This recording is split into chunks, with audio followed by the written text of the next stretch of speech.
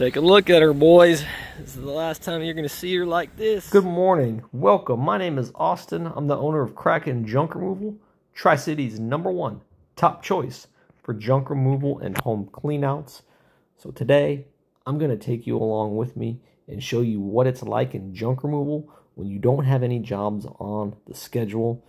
So we're starting our morning off right by first going to Dunkin' Donuts, getting some coffee, some caffeine in us to get us awake. And as you can see here now, we're gassing up the box truck, making sure we have enough fuel to get to our destinations because although we don't have any jobs to do, we still got work to do. So the previous day we did a garage clean out and a shed clean out. So we have the box truck full of all that junk and we need to get rid of it so that when we do get jobs, we're all set and ready to go. So here we are pulling up to the Sullivan County transfer station. We're weighing in, getting ready to unload all the waste.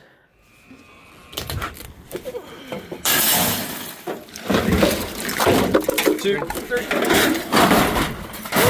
So we're finished unloading the box truck and we weighed in at 851 and we weighed out at 927 so about 35 minutes or so.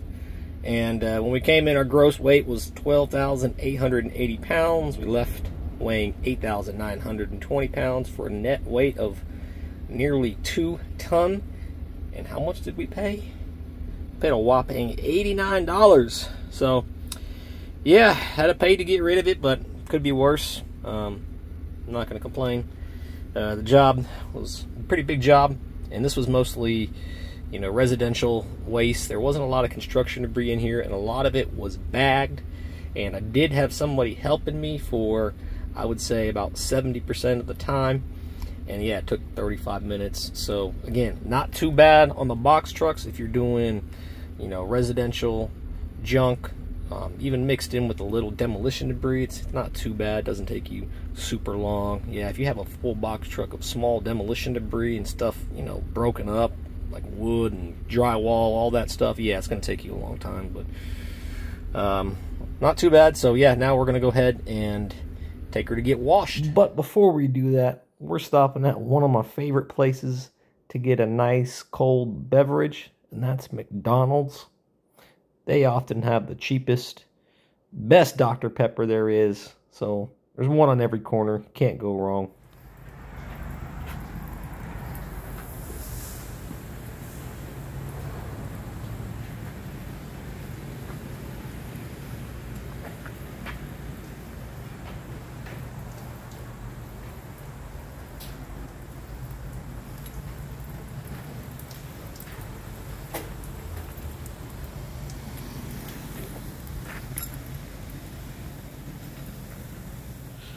Take a look at her, boys.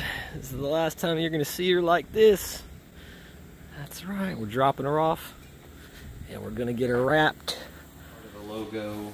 So after dropping off the box truck, we had a trailer full of scrap metal that I've been collecting over the past several weeks that we had to get rid of. Uh, some of it was sitting in my driveway, so I had to load up the trailer. I didn't get any video footage of that, but here we are at the scrapyard.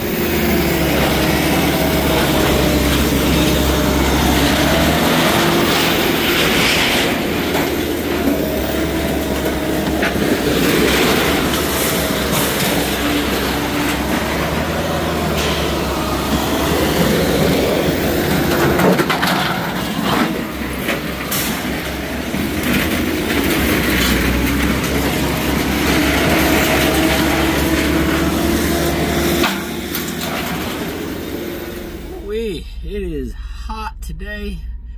We're over here at the scrap yard dropping off some metal. It's 92 and it feels like it's 98 the weather says. It's probably the hottest it's been in the past, I don't know, week or so. But just waiting in line. There's nothing like sitting in the sun just waiting to get paid. All right, so on the metal and aluminum we made $69 and then on the insulated copper wiring $42.75 not a bad payday for scrapping some metal just had to put up with this heat. But all right, I gotta go drop off one more load at the landfill, just some random trash. I got this bag of sawdust I have not gotten rid of yet. And then gonna get some lunch. And like I said earlier, I'm gonna go home and relax. So thank you guys for tuning in. If you haven't already, go ahead and hit that subscribe button. Drop a comment below. Thank you guys. Catch you in the next video.